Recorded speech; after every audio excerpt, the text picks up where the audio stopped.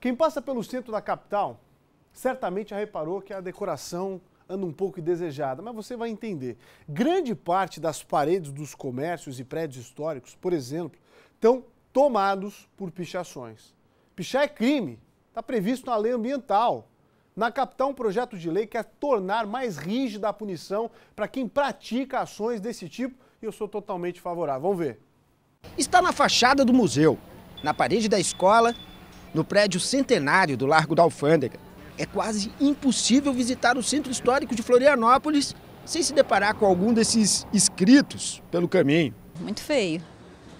Fica muito sujo, muito estranho. Tem algumas fichações que, que eles estão passando a mensagem né, sobre os políticos. Né? É, mas esse assunto é um pouquinho mais complexo, mais polêmico do que a gente pensa. É que tem gente que defende a pichação como uma forma de expressão. Eles dizem que é preciso saber ler o recado que vem das ruas. Problema é que muita gente olha e só vê sujeira, vandalismo. Nem forma de expressão, nem mera sujeira em espaço público. Para a lei brasileira, pichação é crime. Isso desde 1998, com pena que pode chegar a um ano de detenção para quem for pego em flagrante. O difícil é encontrar alguém assim, no ato, com spray na mão, no horário que nós estamos fazendo ronda, que tem a presença da segurança pública, geralmente eles não estão ali, né? Então a gente não consegue identificar e nem recebemos na, no nosso 153, por exemplo, ou nos grupos de WhatsApp, denúncias de momento em que esteja acontecendo a pichação. Se depender deste vereador, os pichadores vão ter mais motivos para agir na calada da noite.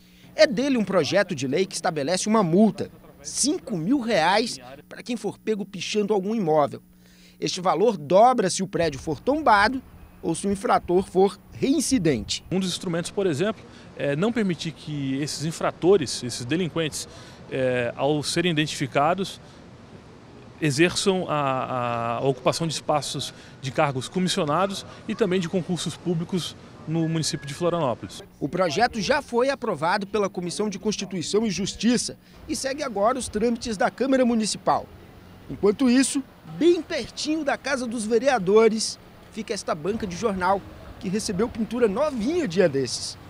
De nada adiantou. A gente pintou aqui e nem uma semana depois já estava pichado assim. O abandono em que se encontra o centro histórico, inclusive, foi o um motivo para esta lanchonete, que só atendia à noite, passar a abrir mais cedo durante a semana. As pessoas estão com medo de vir para o centro histórico elas têm medo do assalto, elas têm medo do mendigo, elas têm medo do morador e o lugar está praticamente horroroso, né?